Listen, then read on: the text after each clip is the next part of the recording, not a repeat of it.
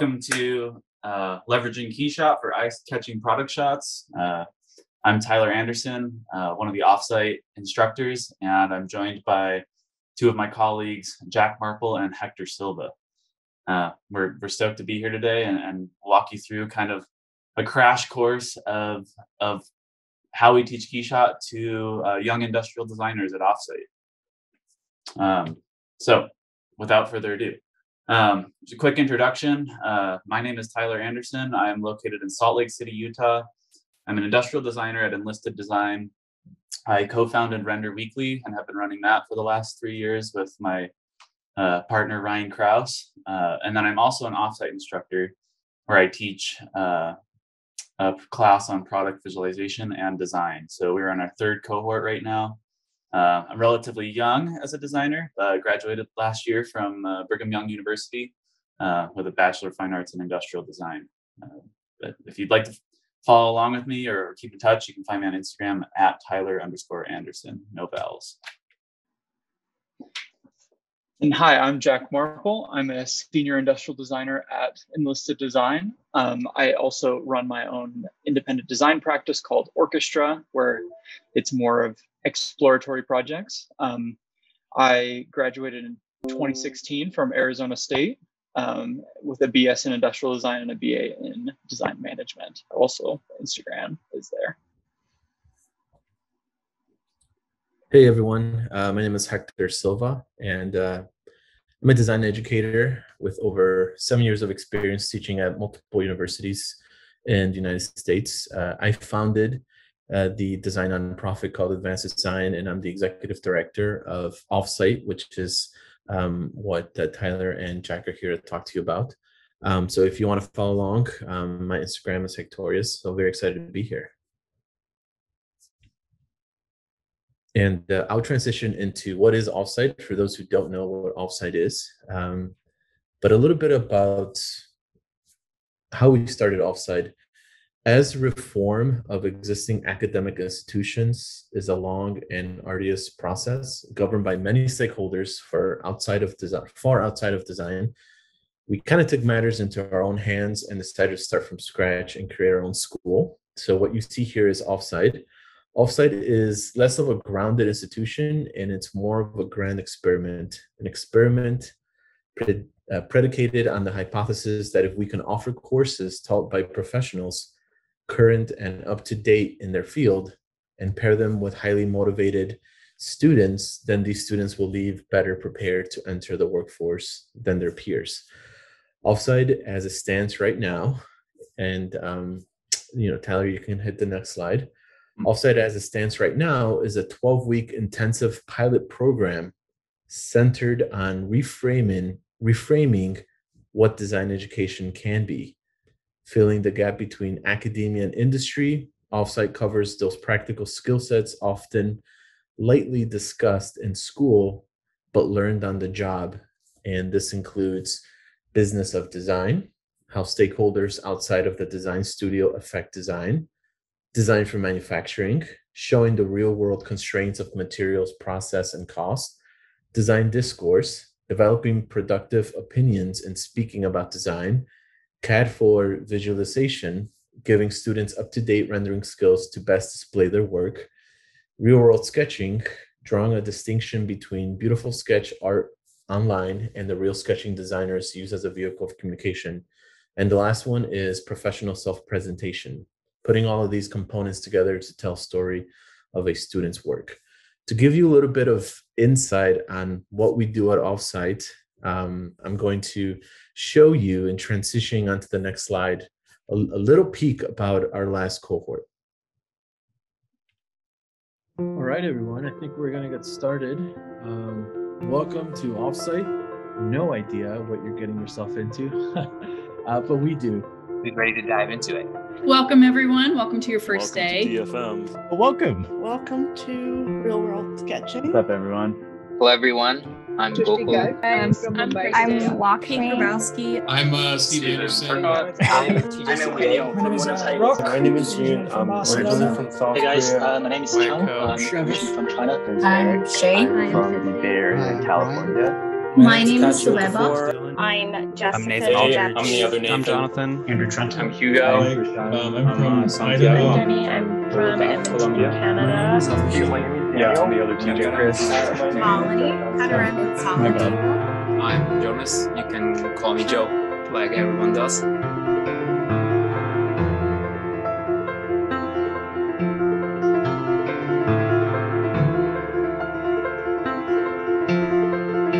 What if for once in your life, for 12 weeks, you just like go all in and you make small changes and this can totally change your trajectory?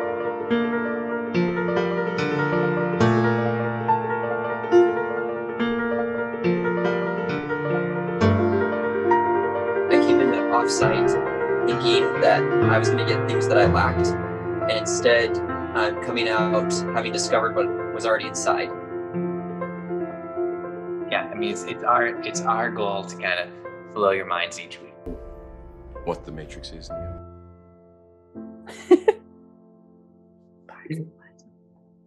Sweet. Thank Likewise, you, Michael. Michael. Thank you so much, Michael. Yeah. Thank you, I will see you. Now we're Thanks for everything, off. Dom. See you down. Bye, Dom. See y'all. Thanks, Dom. Thank you, Spencer. everyone. Thank you. Thanks so much, Spencer. Okay. Thanks, Kelly, for Thanks, everything. Kelly. Had a great time. Thanks, Kelly. Thanks, Kelly. Cool. Cool. All right, everyone. Sweet. Thank you, Tyler. It's been a blast. Thanks, Tyler. For sure. It was a pleasure.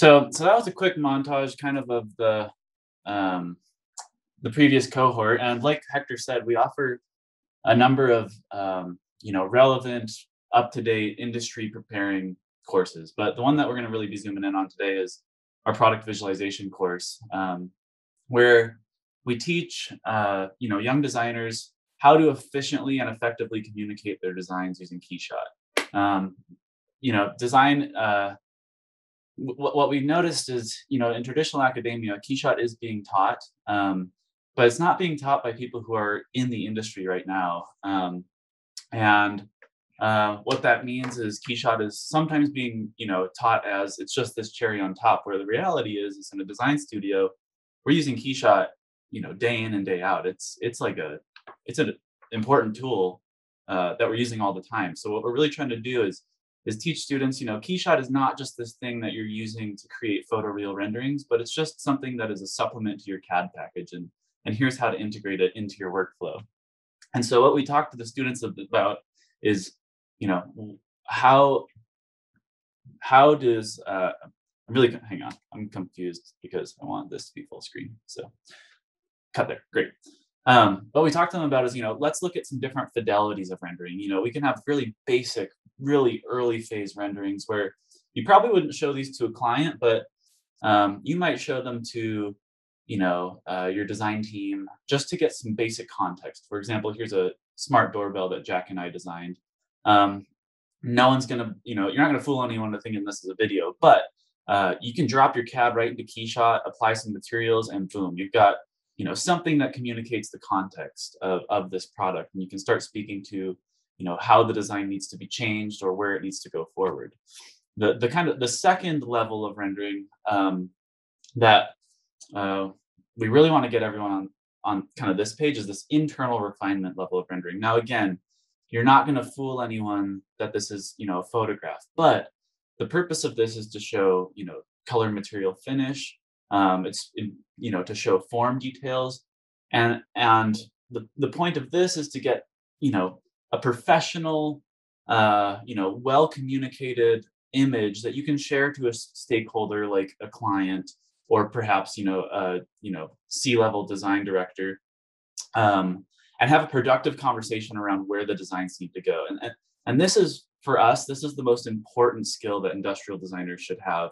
Um, when it comes to Keyshot, uh, just because you know being able to com- clearly communicate what your design is doing, um, you know, helps conversations and helps the design process move much much faster.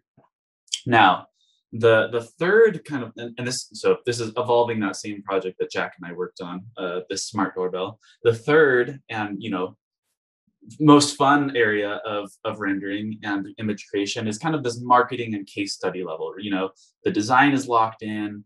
Um, this is kind of the final external facing imagery. They might be using this on their website. And what we tell the offsite students is, you know, this is definitely a place that you guys can all achieve. Um, however, it takes you know hundreds of hours of practice, and, and in in 12 weeks, alongside six other classes, it if you're not already experienced in Keyshot, it's it's unlikely that you'll be able to you know get here in such a short amount of time. But what we're really hoping to do is lay a foundation um, that they can go and watch Keyshot's YouTube videos, watch you know uh, third party YouTube videos, and and have a foundation that they can teach themselves some of the more advanced principles of Keyshot. Um, so really like laying a good foundation of, hey, here are best practices, here are some of the tips and tricks behind um, using this software, and, and, and here's where you can go. Uh, so uh, Jack, do you want to speak to uh, this Yeah. next section? Yeah, totally. So I, in addition to teaching Keyshot, we kind of um, we also try to teach and back up a little bit to kind of how how are we getting ready to move into visualization into Keyshot? How do we how do we build CAD and then prepare CAD to be um, uh, to be ready to to have uh, realistic visualization come out the other end? Um, and we also have want to communicate that the design process is not just CAD and rendering, but there's a lot of other inputs that come into it. But they're kind of the best tools for kind of taking all of those inputs, boiling them down into uh, physical um, 3D based solutions, and then um, visualizing and communicating those to to stakeholders and to clients. hmm Thanks, Jack. Uh, so let's talk about this rendering workflow. Um, you know, is is there a is there a process? What how how is this 12 week course constructed? Um, so we really introduce uh, kind of this principle of, of this rendering pyramid, right? And at the base of the pyramid is your CAD. And Jack's going to talk a little bit more about that in a sec. Um, but then we kind of detail, you know, uh, and teach principles of composition, principles of lighting, and principles of materials. And and you'll see in a second why we have them uh, kind of organized in this way in this hierarchy. Uh, but we what we really want to focus on is is just principles of good visual communication, not necessarily rendering specific. Um, a lot of the principles of composition and lighting can really penetrate into other aspects of of their design careers. Uh, you know, whether it's graphic design or laying out a presentation. So we're really trying to communicate uh, some of these fundamentals uh, in these students and in these uh, cohorts. So uh, yeah so so first the what you need to put into keyshot in order to make uh, a make a convincing visual is your cad and that's kind of where it starts um, to to make those visuals to to lay the, the groundwork of that pyramid that tyler was just talking about so having a cad model that um, that looks and that has a couple of things um, such as part lines and realistic uh, like uh, where the parts will break up, how the things are going to be put together. Um, maybe it has screws, maybe it has um, labels and markings and all of these things. Um, what you can do in CAD um, really helps uh, make things easier when you start to move into into Keyshot. hmm One of yeah. Yeah, and just like one of the huge things that that that we try to teach is that fillets really um, really help to add those highlights, and, and nothing is perfectly square or perfectly uh, sharp edged. Um, when when you see something mass produced, there's always at least a little bit of a fillet, and so adding fillets in CAD or in um, in Keyshot to kind of give that that realism um, is a huge is a huge step that can take a rendering from being um, can be from being something to uh, something much more realistic. So yeah, talking about we'll, we'll talk about this with our students of like having sharp edges doesn't really exist in in the real world, but having um, going from tangencies uh, and then having all the way up to a G3 curvature and having those reflections um, flow across the surface much more, um, much more smooth will help give refinement to uh, to surfaces and to and to the products that are being visualized. And we also talk a lot about CAD fidelity of like we're we're going from um, it, especially kind of working your CAD workflow into um, into a design workflow of you don't necessarily need to get to an engineering model every time you visualize. You could you can start with a block model, kind of what um, Tyler was showing earlier with the with the doorbell project. You can start with a block model just to get proportions and color breaks and and really simple stuff, and then progress that all the way through to um, a design intent or an ID surface model that can then be passed off to engineering, um, and then they can um, they can develop it further. So there's lots of these different fidelities of CAD, and and each one offers a level of detail that you can kind of zoom in and get detail shots of um, the the further you go down towards an engineering model, you can get um, this these more sophisticated surfaces, more realistic um, visuals, and you can really zoom in and and see where those visuals um, or see where those details lie. Right. Thanks, Jack. Yeah, and as you can see here, we we have like you know this kind of block model on the left where it's very you know not super refined, but it gets the design intent across, and, and then and then we contrast it with something you know where those surfaces are a little bit more worked out, and we've got controlled fillets on on all the edges, and um, you know we just really want to kind of show the students uh, different contrasting levels of fidelity, and and we teach them you know why would you use a model like the one on the left versus the one on the right, and when is an appropriate time. Um, but the nice thing about Keyshot is it handles everything, you know, you know, handles all these fidelities of models really well, and uh, it's easy to work through them if you want. So the next thing that we kind of talk about, uh, you know, after your CAD is done, after you've got it all loaded into Keyshot, is composition. Like, and and and in addition to that, the camera module of Keyshot, right? So we teach we teach these composition principles at the same time that we're teaching, you know, here's the camera section and here's how you set your focal length and everything um, because composition is you know super important to how your uh, how your uh, CAD or your design is being displayed. And so we we dive into like kind of composition faux pas, like avoid avoid tangency. You'll see the red the red things are kind of no nos, and the green things are better versions of the no nos. So you know we don't want our our you know objects to become tangent to the borders. We want to either leave some padding or do a full overlap. Or you know we don't want things to be just barely tilted. You either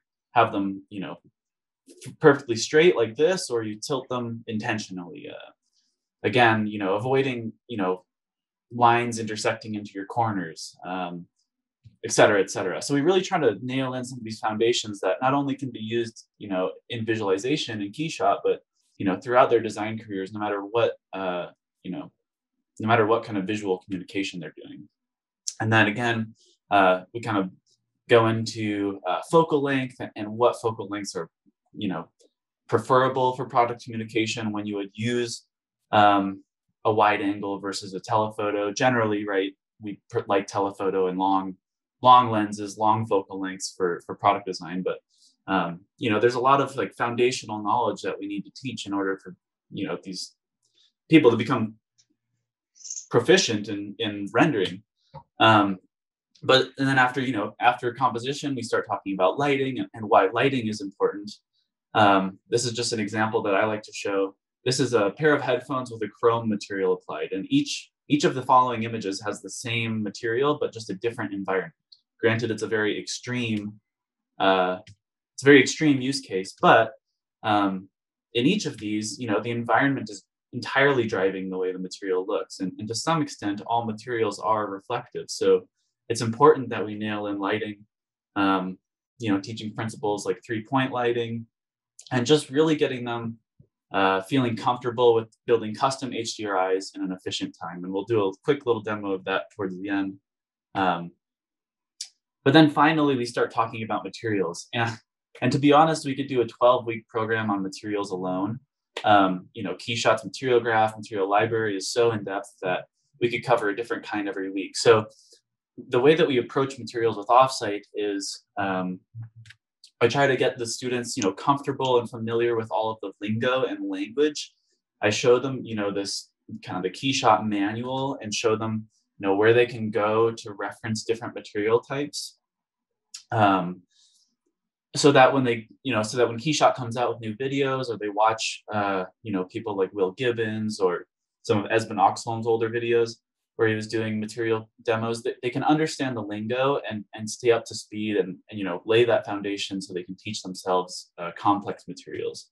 Um, and the reason that materials are so you know the reason that we you know materials are important and i think as visualization artists we kind of geek out on building really you know complex and beautiful materials.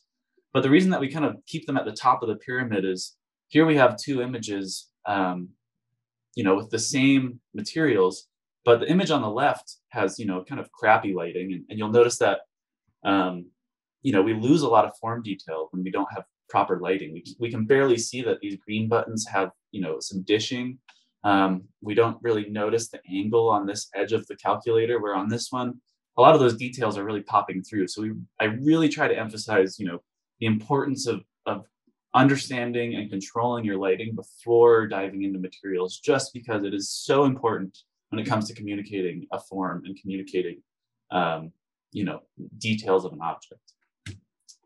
Um, now the the next thing is uh, you know no design process is linear. Um, and you know it's not like you move from your cad and then you set up your composition and then finally cherries on top you do your materials. The reality is is that you kind of work through all of them at the same time. So you have your cad at your base and uh, and then you might adjust your composition a little bit and then your lighting a little bit and then you might go back to your composition and then you might adjust your materials. And you kind of adjust everything all at once but as you get to the top of that pyramid you can spend as much time you know tweaking things but you get less return on your investment. And so we really want to just teach them you know where is where is the right place to you know kind of uh, drop things off and and uh, and call it a day right? And that that goes back to that kind of second level of rendering fidelity where you're just communicating well enough that it feels professional um, but you don't need to fool anyone that it's a photo um, and then after that we start talking about you know how do you organize uh, and how do you start to approach you know rendering a, a deck or rendering a um, you know pre- presentation deck? So we start talking about shot lists and you know what's a hero shot versus a orthographic shot or a macro shot. And so we'll demo it um, and i'm happy to hop into this demo right now. I'm going to show you guys on this toaster kind of how we set up our our KeyShot files um, so uh, here we've got a toaster designed by uh, my Render Weekly partner, Ryan Kraus. Uh, this was for one of the prompts. And so what we'll do is I'll, I'll go into KeyShot with the students and I'll walk them through, um, you know, how do we set up several different camera angles? Um, and how do we set up different model sets where, um, you know, you start to really understand how the different modules of KeyShot work together. And you know, by this point, we've done three or four classes on the, you know, setting up cameras and setting up environments.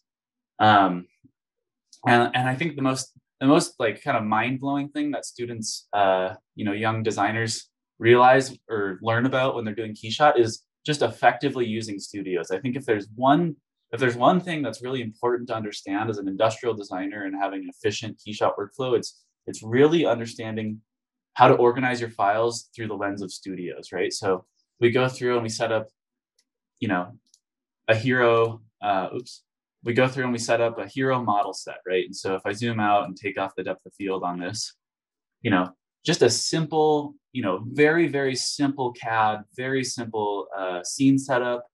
I show them, you know, here's here's why we would do something like this. For example, the toaster might live on a counter, so we want to put it uh, you know maybe in a space that feels like a like a countertop. And then you know we go into our hero shot camera and i teach them you know all the principles of of camera um, focal length at the field and you know keeping in mind those principles of composition that we've learned. And then and then we set up a hero environment right? So um, we'll go through and we'll just set one up from scratch here. Um, but i'll teach them you know how to set up a nice uh, three point lighting environment. So I'll start, we'll start with an all black um, environment and then we'll go through with the custom pin editor. And we'll just start by you know adding in our key light using the um, kind of this like the set highlight tool. Um, and then we'll go through and talk about you know how do you get a hard shadow versus a soft shadow? So if we use a pin of a radius of one and you know like an absurd brightness of you know 500 or something like that um, we start to get you know these really kind of like hard contrasty shadows. But if we go up to a radius of say you know 20 and then we bring our brightness down you know as the radius increases we got to pull our brightness back. Um, you know we get a little bit more of a soft uh, soft dynamic shadow. Man the gpu is, is lagging a little bit here. Just gonna restart it. There we go. Now we're cruising. Um, and so we start talking about you know principles of uh, three point lighting. Once we get our our you know key light set, our main light, then we go ahead and we add in our fill light. And and now that fill light can't be as strong as you know our secondary light, so we got to up that one to a little bit of a larger radius and pull the pull the intensity down. Um, and you know then we start turning off you know start turning on and off that light to see the difference that it made and start to fill out the space and then finally you know we add in our rim light uh, which is kind of our, our bounced light from behind. Um, and we usually set our rim light as kind of a middle ground.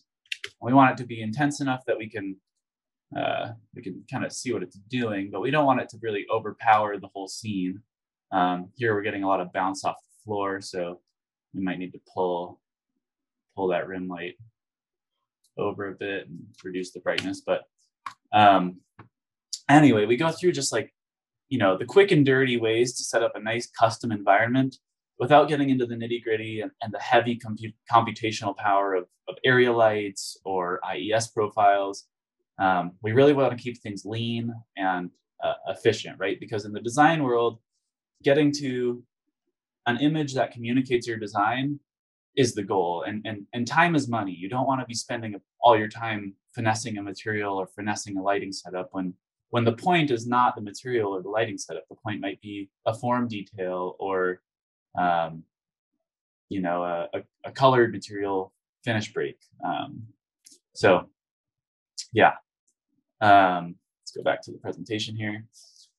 So, well, let's stay in Keyshot. So, uh, you know, after we get, you know, each studio and each environment set up, I show them, you know, here's how we, here's how we go about setting up um, you know, an orthographic shot and using the orthographic controls um, and why you would use an orthographic shot, why, you know, it communicates a little bit more of a technical engineering uh, perspective of, you know, here's the front and side view um, with no perspective distortion. Um, you know, let's look at a macro shot. Why would you, why would you need more depth of field on a macro shot to zoom into a detail, for example, and, and, and where would you use that in a presentation? For example, say, you know, you have a say you have a, a design detail that's kind of the defining element or a, a defining interaction.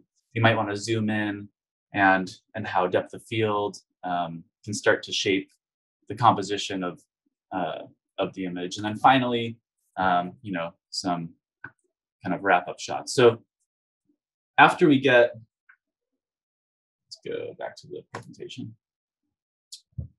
So we go through and we set up each shot with the students. Um, and then from there, we uh, that you know that's about a six week module of getting everyone up to speed and KeyShot and really diving into the the details and the nitty gritty. Um, and then after that, we kind of transition to you know how now do we use this in the real world? Um, and we assign a project to the students um, where they go through and they you know pick from a number of product categories. Sometimes it's a water bottle, um, lots of tape dispensers in the last uh, cohort uh, were selected. So, um, and then the students go through and they they start working on a design project um, that's kind of been run through, you know, Kelly's class with sketching and Dom's class with manufacturing. Um, so it's kind of like a cross-functional situation. Um, but then they finally get to build out, you know, a presentation quality render and really show this design um, in its best light. And we work through uh, the design process with them and, and, get things to there. So this is some work done by one of our uh, students in the previous cohort, Eric uh, Eckenhaus. Um, really beautiful sheet metal scotch tape design. And um, just you know he really really started to nail down his lighting in the last little bit and uh, understanding those three point lights. Um, and and one of the ways that we really drive through this these lighting exercises is we assign in those first few weeks we assign uh, homework where the students are really just encouraged to get into KeyShot and really understand uh, the tools in different ways. So we'll give them a challenge okay you get one light in your hdri and you have to you know execute you know three different lighting profiles. So this is some work done by um, a student in that cohort as well jenny creighton. Um, and so she lit this chair that she uh, i think it's a model that she either downloaded or got from the KeyShot model library. Um, but uh, she down she downloaded this and just lit it in a few different ways with one light and then you know and then we say okay now introduce a second light into your scene and and we really just want them to start practicing and playing with the tools um, in an unstructured way where there's not a client deadline, there's not something kind of hanging over their heads, but it's just kind of loose, free time in KeyShot. Um, so they can really start to understand the tools. And then once they start to understand those tools, the final kind of um, the final, I guess, assignment you could say, or, or exercise is is a copycat assignment that we give them. So we say, okay, now we want you to go find a rendering that you really like or appreciate, and we want you to remake it, right? We want you to really break it down and uh, create something that, oops, create something that um, you know feels enough like the original that you're proud of. So in this case, TJ, um, a student from the previous cohort as well, uh, found this telecube concept by Tim Zarkey and you know pulled catted it all up and rendered it out in Keyshot and really uh, you know had to cr- think critically about um, you know how did Tim uh, you know maybe get you know this material to work how it did and get that gradient there or is it a lighting detail or you know how um, how is he getting the shadows to fall correctly on this and so we really encourage them to start looking at imagery that they appreciate and, and think about it critically and, and break it down to its elements so that they can recreate it. Um, and then finally, uh, towards the end of the class, the, goal is that you know they can use KeyShot to communicate their design changes. So this is a really awesome project by um, a student, Wyatt Coe, um, another tape dispenser design. But you know, we teach them to build and uh, you know design out communication decks. Um, so like in a studio setting where they, you know, might have to present three concepts, um, they can, uh, you know, use KeyShot, use the model sets in the studio workflow um, to show their concepts in a way that, you know, feels cohesive um, and feels professional. So here we've got a few tape dispenser designs by Wyatt um, that uh, you know he's gone into and, and been able to design out. So um, yeah uh, again the whole point of this offsite program is to prepare the students uh, for industry and, and get them to a place where you know they get hired by an industrial design studio or, or a corporation with an in-house design team and you know they can sit down at their computer and when they're you know when their boss or senior director um, asks them to you know build a deck they can do it um, you know in a way that feels contemporary and feels relevant and up to date with you know what their what their senior level director would expect. Um, and and overall just you know i've been so impressed with the work of the students. Um, the response has been incredible. Um, we we get you know a pretty big range of, of talent uh, coming through the class.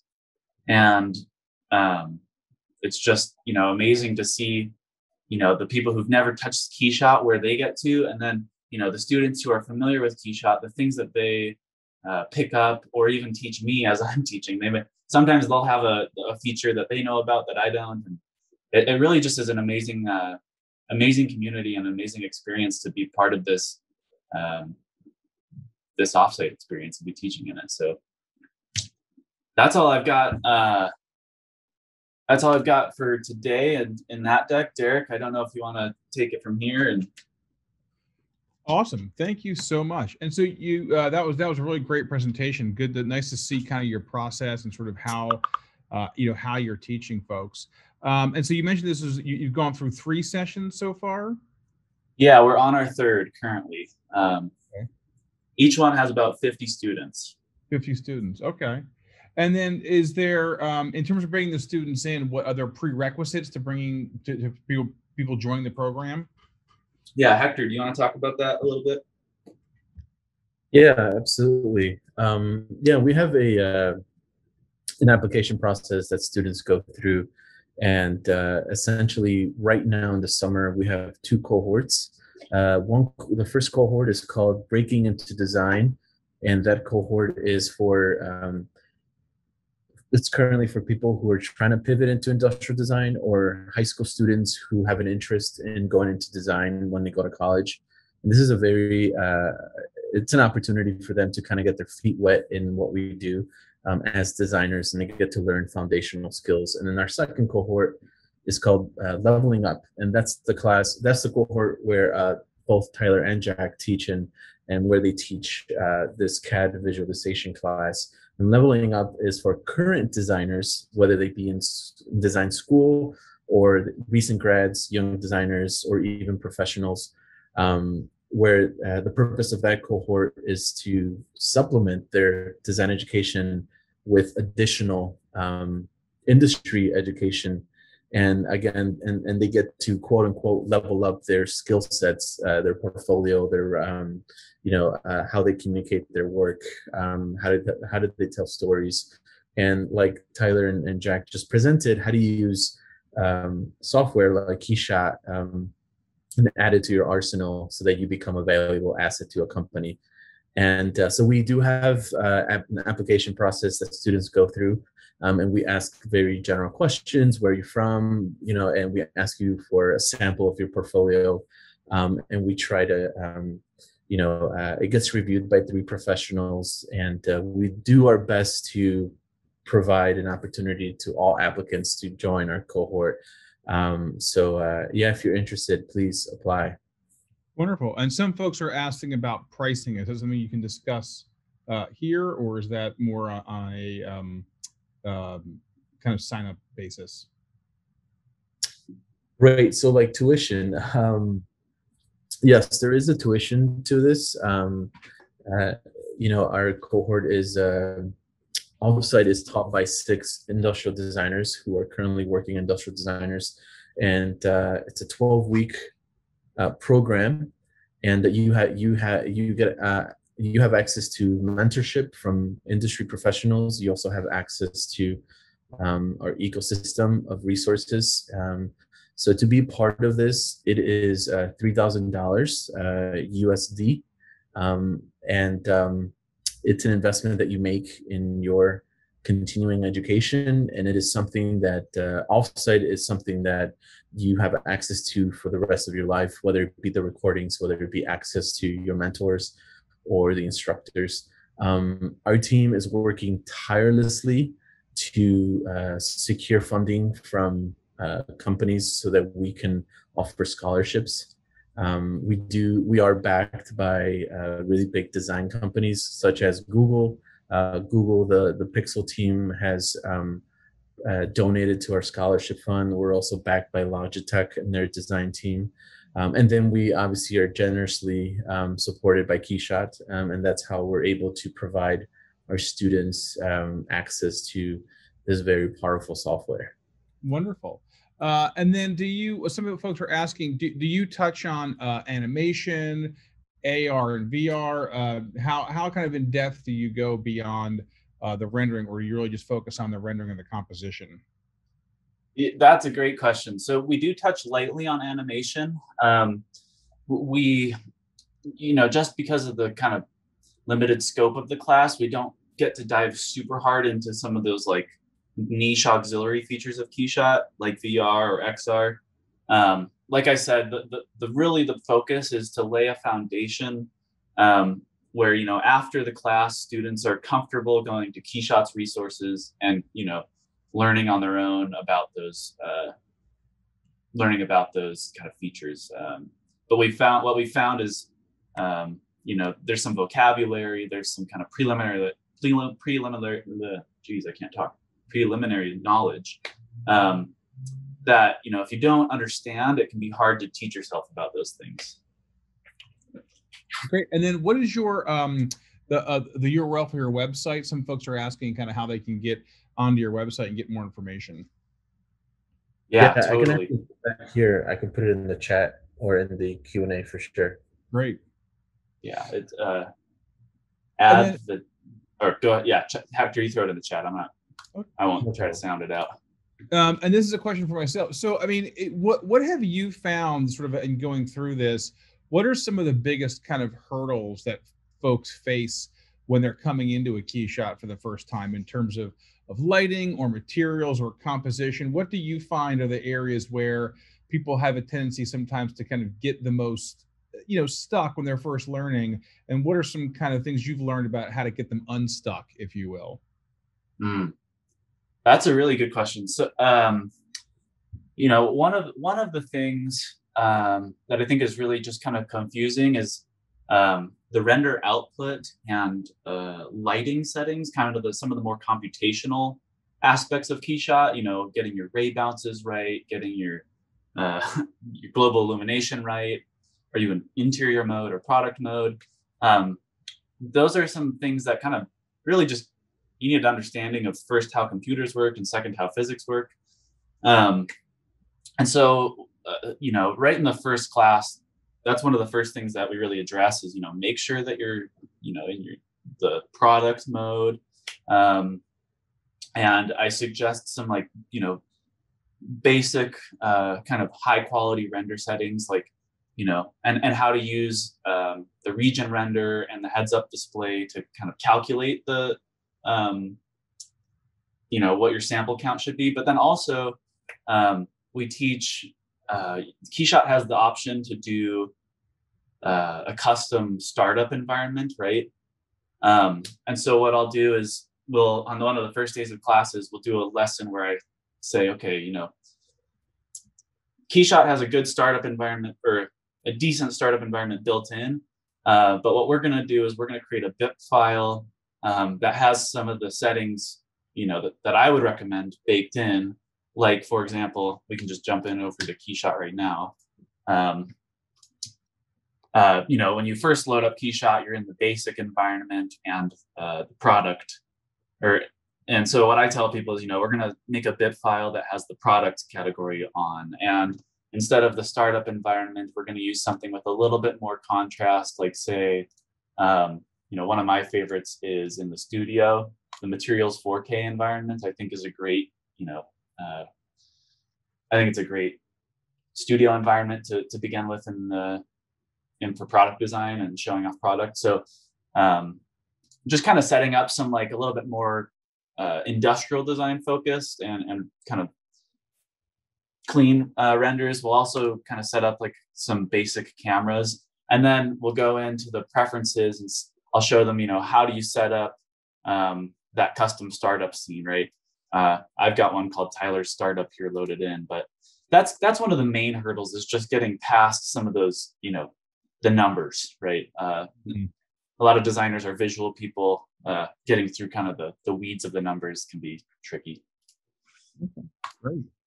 Um, well, I believe that's the majority of our questions uh, that we've kind of had uh, come up. Is there anything uh, else you guys would like to share with us before we kind of wrap up our session? Oh man, um, you know, just uh, if you know anyone uh, who's looking to break into industrial design or level up their skills, um, or if you yourself have questions, feel free to reach out. Um, you know, this is a really exciting experience for us. Um, it's kind of something that hasn't been done yet before and is constantly evolving. So we love hearing from people uh, who are also interested and, and, are happy to happy to have any conversations around it. Uh, but you know, KeyShot, you guys have been a killer support. We love teaching with your program. It's probably one of the best and most efficient programs for uh, you know building nice imagery uh, as an industrial designer. So just keep putting out good stuff and good features. We're we're loving it. Awesome. Well, thank you guys so much. So I'm going to take the screen here from you for a moment as we kind of wrap up. Um, I will share uh, some uh, kind of this is the website here. So folks were asking about the offsite website. So you can go here, advdes.org slash offsite and go check that out. It's got a lot of uh, more information on there. So again, thank uh, thank you guys so much for coming today and presenting. Um, so uh, that wraps up uh, our agenda for today. Uh, a big thank you to uh, Kareem and Colton uh, for kicking us off here today, and, and Michael Pavlovich um, from ZBrush, and, and finally uh, Tyler and Jack and the guys from Offsite. It was really, really informative. Um, thank you very much for participating. Um, it sounds like everyone really enjoying the show. So big thank you to our sponsors for helping make this happen. NVIDIA, Stratasys, Varjo, Render Weekly, Design Burger, and GoPro. A big tip of the hat to all you for helping make this possible. And then finally, I know people are really interested on the giveaway, the RTX A6000. And I'm telling you, you've seen it a lot um, through the course these presentations when folks kind of really need that extra horsepower. Like I'm going to click the GPU button. It is really incredible what NVIDIA has done with just these last two generations. Um, as we mentioned before, we have this um, particular uh, GPU in our uh, in, in in our workstation in our studio, and it is incredible. I mean, if you don't know, that there's a KeyShot benchmark. If you get the KeyShot viewer, uh, it's a free viewer. You can download it. You can actually benchmark your system, GPU and CPU. That's a great way to sort of see how fast you are. But we are seeing just incredible performance numbers um, from this. So this is uh, the winner of this card is me very excited, and that winner is Owen Sparts. Owen Sparts from Colder Products. Owen has is having himself a day right now. He's going to be doing some fantastic rendering with this. Um, so again, big thank you to NVIDIA um, for, for participating. A uh, big thank you again to the folks from Offsite, and mostly a big thank you to all the the the, the KeyShot people out there, uh, the KeyShot uh, users, the viewers, the ones who have come and really uh, you know come to the KeyShot world. You've been very positive, very supportive. We hope you found this um, you know really informative and enjoyable. Uh, big thank you to the team here for this together. Um, and with that, we will uh, adjourn until we see you again. Thank you, everyone.